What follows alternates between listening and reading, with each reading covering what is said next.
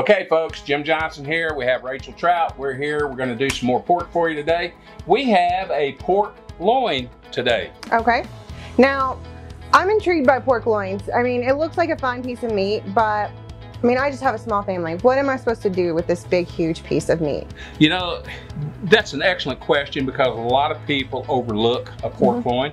They're scared of it because it's so much to it.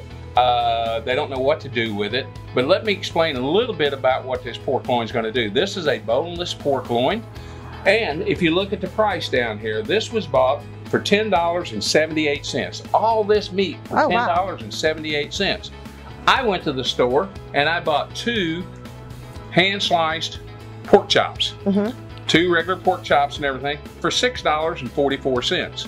Now, if I were to take this and slice it one inch thick slices and then pound it down a little bit, guess what I would have? I would have a boneless pork chop. Really? If you look, you have the fat layer on the bottom. What do you have here? The fat, fat layer. layer on the bottom. So what happens is, is that's the end of a pork loin. So if you've ever had a boneless pork chop, Mm -hmm. That's what you're eating is the bone, oh, okay. is the boneless loin. Now, if you have a bone in, the rib cage is attached to this, so the ribs are right here on top that would attach to it like this. This is the fat that goes up toward the skin.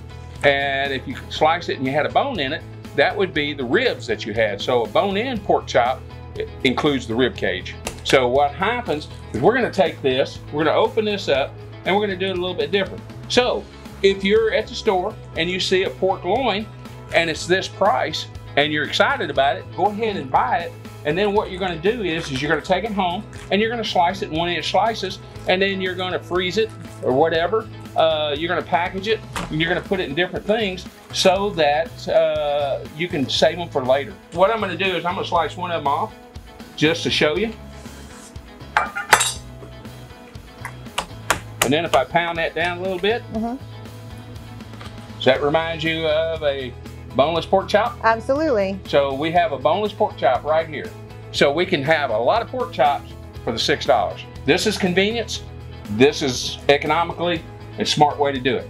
But now what's gonna happen is, is because of what we have here, I wanna do it a little bit different. I wanna make this exciting because as you see, it's very lean, mm -hmm. so there's not a lot of fat, so it's gonna be dry. And that's the problem with people when they do a pork loin, it gets dry too quick and they, they're not happy with it. So what's gonna happen with this is, is I'm gonna take this and I'm gonna start a cut. I'm gonna come two fingers from the end. I'm gonna go straight down and I'm gonna cut just like so. And I'm gonna make a cut all the way down, all the way down, all the way down. Just like that. And then I'm gonna come back, two fingers from the top, go straight down. And I'm gonna make another cut. We're gonna come through this way, just like so. So I wanna be a little bit unique, a little bit different. If you want the kids to eat it, you're having company come over, you want to try to impress somebody, your, your uh, husband's boss is coming, whatever, and now all of a sudden you want to set into, you know, how can I do this? But I don't want to spend a ton of money. Can I do this economically? Well, sure you can. So we're going to take this with a good sharp knife and we're going to cut all the way through.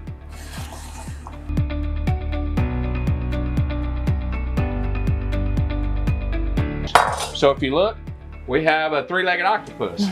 well, everybody knows we can't have that. Okay, now we've got this. We've got it separated, so we're gonna come in and go straight down.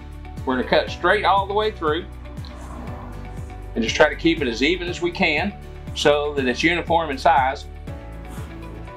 Now what I've done is, is you can see this is a little bit harder to slice through. This part right here has been in the freezer, or this whole loin has been in the freezer for a bit. And we put it in there so that it makes it a little stiffer and easier to cut. Don't be afraid of doing it, but you're gonna put it in, makes it easier to cut. We separate it. Now all of a sudden, look, we have all these little different uh, cuts here. Beautiful, beautiful, beautiful. Now what we're gonna do is we're gonna layer this with flavor. So you're gonna put dry rub on it and then we're gonna flip it and we're gonna put it on all sides. We're gonna put all this flavor in there we possibly get. Again, we're going to uh, utilize the flavors that we're working with, you know, salt, the pepper, the garlic powder, the onion powder, all the things that go well with pork. And then you're gonna add some of the Becky Sue rub, which is an all, all around, all purpose dry rub. You notice there's some pepper flakes floating to the top there. Uh, it's gonna have paprika and it's gonna have salt, sugar, peppers, you know, all the flavors that are gonna make the, the, the meat pop. So we want all those flavors to pop. We want it to taste good. All right, now I'm gonna flip this over and we're gonna do exactly the same thing all over again on this side. Now what's happening is, is this is gonna put flavor everywhere we are so that no matter where you get a bite, you're gonna have flavor.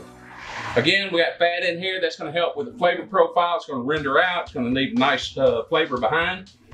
We've got all those flavors going and popping for us. Now, what I'm gonna do is I'm gonna turn this back over like so. We're gonna come out here on these two and we're just going to do it like a German pretzel. We're gonna braid it, turn it, braid it. Now, when you're at home and you wanna do this, you're welcome to do so, but you can take it and when you get to the end, get some of those wooden skewers like you would use for shish kebabs, and you can stick through the ends and it won't separate on you. But in this case, I know how to put it together and I know how to put it on the grill so it'll stick and it'll, it'll stay together like that. So we won't worry about that. But it, for those at home that are afraid, what you're gonna do is you're gonna put a skewer right through it and it'll go all the way through the end. That way you can pick it up by this piece and by the skewer and take it straight to the grill. How does that look? Okay, folks, Jim and Rachel, we're back with you right now. You see how it's starting to sweat, it's pulling moisture out? Mm -hmm. So that means the salt is pulling the moisture to the surface. So when we put it on the smoker, it's gonna take all that moisture back in, plus it's gonna pull the smoke in, it's gonna have a nice flavor. I want you to remind you of one thing though, have a really nice good thermometer because we only want to cook this to an internal temperature of 145 degrees. Because if we overcook it, it's gonna be so dry, we want it to have flavor. But we're gonna open up the smoker, we're gonna put this on the smoker, and trust me, this is gonna be better than your neighbors.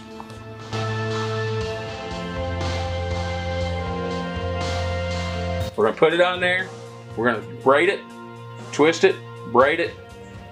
We're gonna twist it, braid it, make it look pretty.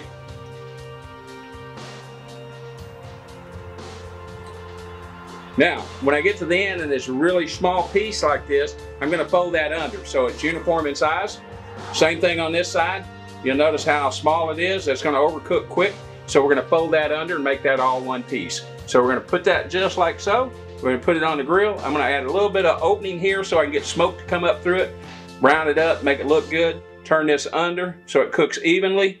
Nice, pretty presentation. We're gonna take it out in a bit and we're gonna put a barbecue sauce on it and you're not going to believe your mouth and your taste buds.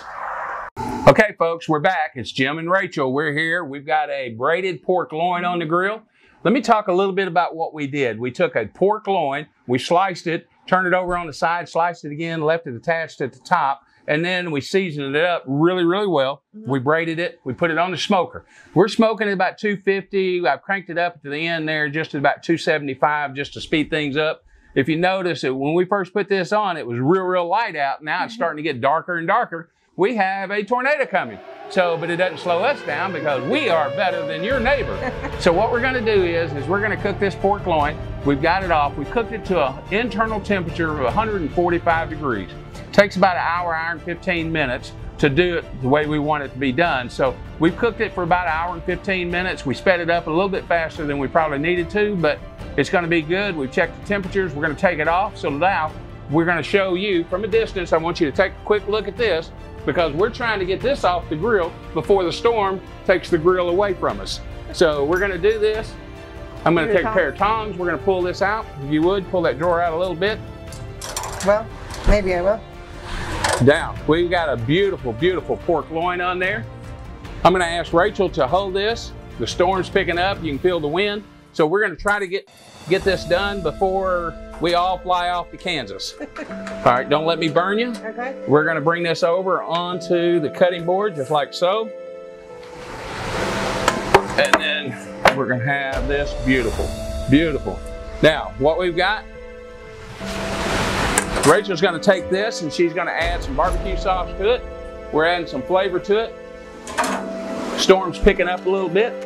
If we do this right and everything, we should have a beautiful, good piece of meat here really, really quick.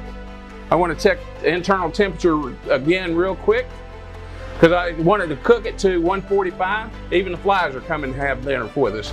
Look at this. Went to 145, it's cooled off just a little bit, so we're good there, we're good there. So we're good. Now, what we've got, we've got a really nice looking loin there. And all we're gonna do is we're gonna come back. Remember how I told you that if it was real uh, lean, we tuck it under? So it tucks under and cooks even for us. Nice. I'm just gonna take knife, cut this. You got that nice color to it. If you'll see, got flavor all the way through and through. You got that nice color, you got that nice smoke ring. You'll see that beautiful little pink smoke ring all the way around the edge. So this is a nice piece of pork. So this is beautiful, cooked perfect, a lot of flavor. Yeah. Rachel, can I get you to try that? Sure. So we have that nice. Delicious. This is going to be nice. Perfect. Folks, we hate to cut this short, but we've been told to evacuate the area. We're going to get this thing going. We're going to get it turned around. Remember, I want to teach you to be better than your neighbor. You guys have a great day. Thanks for tuning in. We'll be back see you soon.